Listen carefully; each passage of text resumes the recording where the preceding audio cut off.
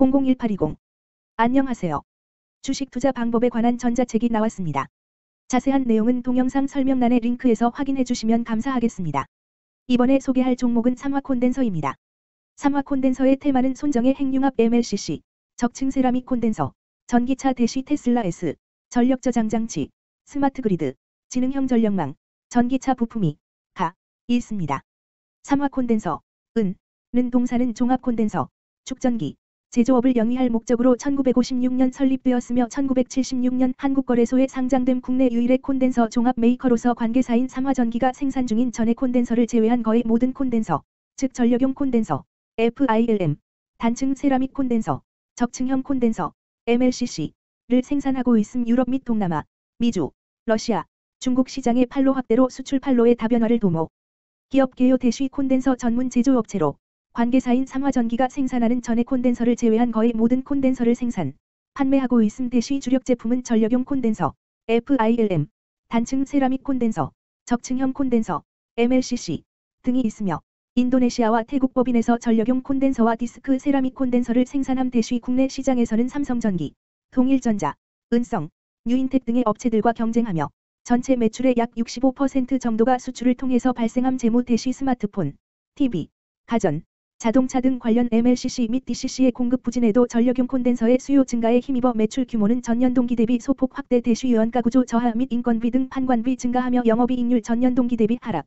금융수지 개선에도 법인세 비용 증가 등으로 순이익률 하락 대시 배터리 및 전장용 MLCC의 수요 증가가 기대되나 글로벌 경기 둔화와 스마트폰 산업의 출하량 감소, 가전산업의 부진 등으로 외형 성장은 제한적일 듯.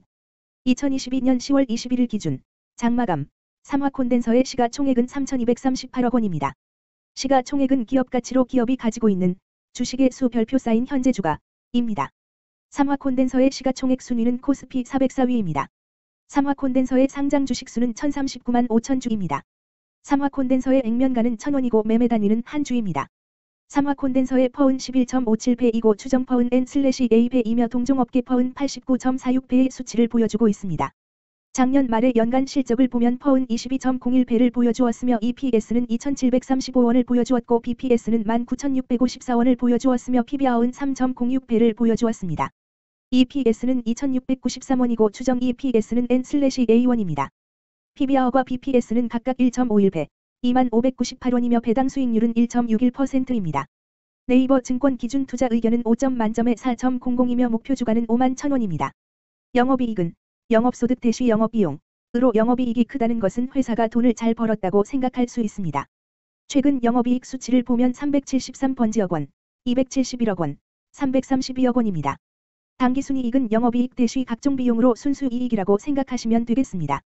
최근 당기순이익 수치를 보면 298번지억 원, 235억 원, 286억 원입니다.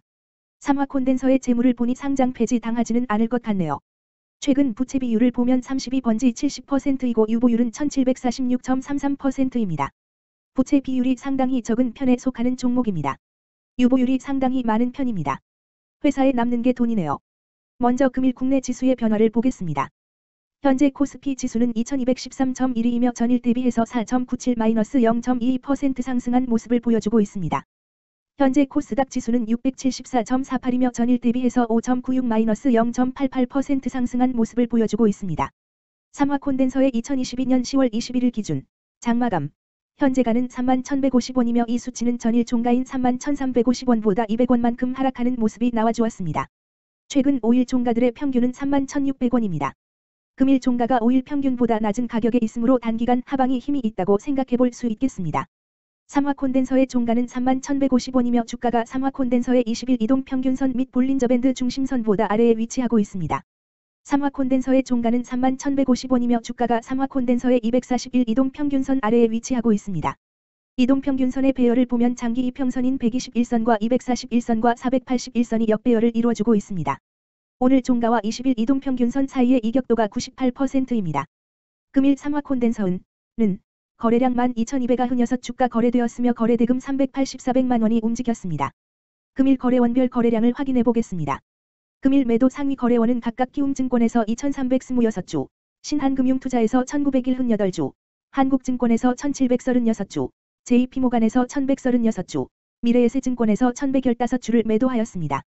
금일 매수 상위 거래원은 각각 삼성에서 2,762주, 키움증권에서 1,708주, 한국증권에서 1,338주, JP모간에서 1,153주, 메릴린치에서 999주를 매수하였습니다.